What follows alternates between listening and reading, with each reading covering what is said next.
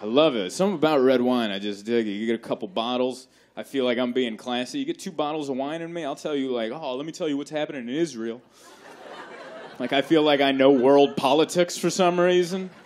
I think it's because I feel classy. I'm drinking red wine, I'm feeling classy until I go to the bathroom look in the mirror. And I'm all purple mouth in there. I've been talking to people for two hours like this. I look like I just ate a Muppet. Are you serious? My favorite part of wine drinking, though, is the snacks. They bring out the little meat and cheese board, the charcuterie board, as it's called. They bring that out, the little meats and cheeses. You think you're being classy. Ooh, is that a brie? Ah. So you step back and look at it, you realize you just overpaid for a Lunchables. That's all this is.